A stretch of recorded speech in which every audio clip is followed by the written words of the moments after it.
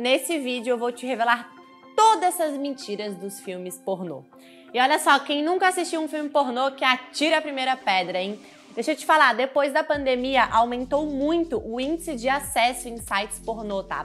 Teve um aumento muito significativo de até 300% de acessos. E é claro que isso afeta em cheio, tá, no desempenho sexual. Assistir uma vez ou outra não é o problema, e sim o problema é a frequência que você assiste.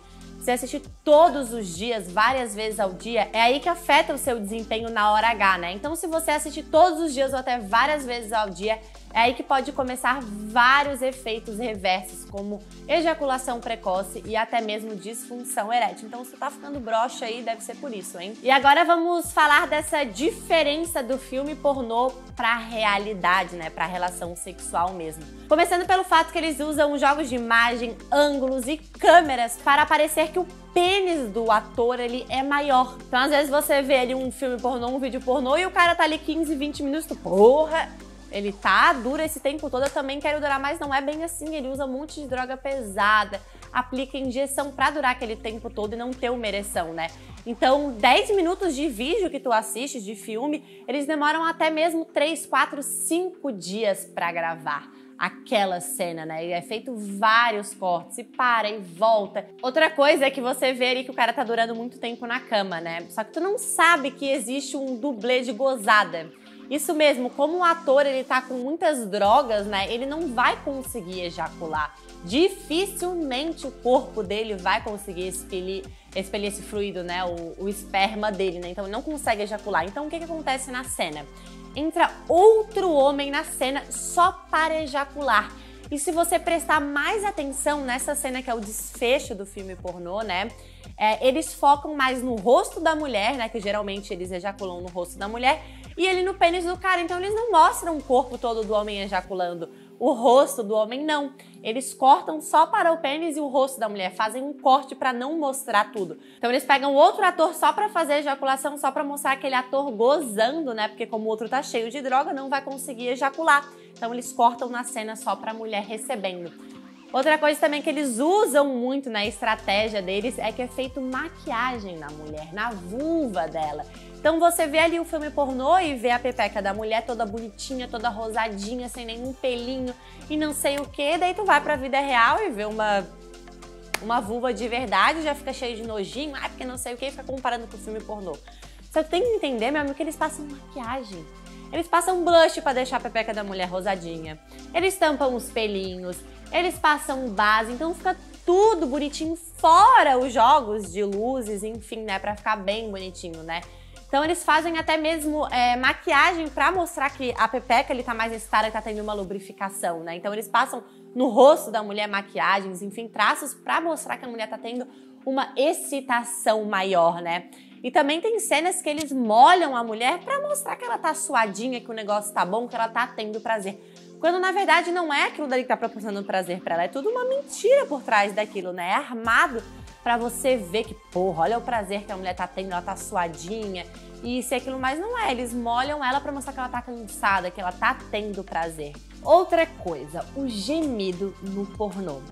Deixa eu te contar uma coisa, na maioria das vezes, tá? Não é aquela mulher que está gemendo daquele jeito. E sim outra pessoa que eles botam no microfone ou botam depois na edição para potencializar aquele gemido. Então tu tá ali o filme todo vendo aquela mulher gemendo, né? E até mesmo quando tu vai pra relação sexual, né? E a mulher real ali contigo geme, tu já até mesmo acaba gozando rápido, né? Ejaculando rápido demais, porque o teu cérebro já tá associado que quando tu bate ou se masturba e vê o pornô, a mulher do pornô é, gemendo daquele jeito, né? Sendo tão excitante pra ti, tu goza. Então na vida real tu também, a tua mulher gemeu, tu vai gozar. Mas, querido, não é aquela mulher gozando, ela não tá recebendo todo aquele prazer. Eles botam outra pessoa para potencializar o gemido dela. Não é aquelas loucuras de gemido e gemendo sem parar aqueles 10, 20, 30, 40 minutos de filme. Não é bem assim que acontece. Não é aquela mulher que tá gemendo daquele jeito. Por isso que eu te falo, é ruim tu ver pornô ter esse vício em pornô e acompanhar com o vício na masturbação, Porque tu vai estar tá acostumando o teu cérebro, condicionando o teu corpo para um estímulo que é totalmente diferente da vida real. O corpo é diferente, o tamanho do pênis é diferente, a vulva é diferente, o gemido, a posição, a forma que você ejacula, né, líquidos e, litros de esperma, né? A forma que a mulher chega ao orgasmo, então é totalmente diferente da vida real. E muitas das vezes tu vai chegar na vida real e tu vai perdendo até o tesão pela tua mulher porque tu tá acostumado com aquele tipo de estímulo. Então, teu cérebro ele se acostuma com aquele estímulo e tu vai é, se distanciando da, rea da realidade. Então, bota uma coisa na tua cabeça: quando tu quer proporcionar prazer para uma mulher, a última coisa que tu vai ter que replicar na cama é o que você vê no pornô. O pornô foi feito, né? A indústria dos filmes pornô foram feitos para dar prazer para o homem, para o homem se excitar e o homem atingir o orgasmo, e não foi feito para a mulher como a mulher funciona completamente diferente da, do pornô, tá? Se a mulher quiser dar prazer pro homem, ela pode até ver um pornô, que se ela replicar ali o que ela viu no pornô com o homem, vai fazer o homem ficar doidinho. Mas se você replicar o que você viu no pornô com uma mulher, não vai ser prazeroso para ela e tu não vai conseguir fazer ela chegar lá. Você tem que dominar de técnicas, tá? De posições estratégicas para tu conseguir fazer com que ela chegue ao orgasmo. E outro erro também do filme pornô é que ali eles mostram que o orgasmo vem muito fácil, né? Então botou a mulher de quatro, é muito fácil a mulher gozar. Fez o sexo anal, a mulher goza muito fácil. Daí tu chega ali com a tua mulher dentro de casa e ela não goza nunca. No sexo anal ela sente dor. Eu te falo, não é igual no pornô, tá?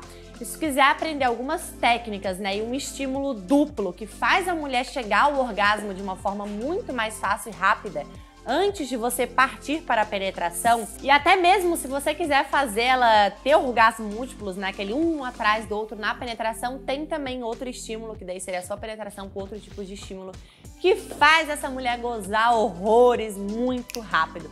Para ter acesso a todo esse conteúdo, tá? Essa aula avançada, vou deixar o link disponível aqui na descrição desse vídeo e também nos comentários. Mas, meu amigo, corre, tá? Porque a qualquer momento essa aula vai sair do ar porque ela é completamente sem censura. Te vejo lá.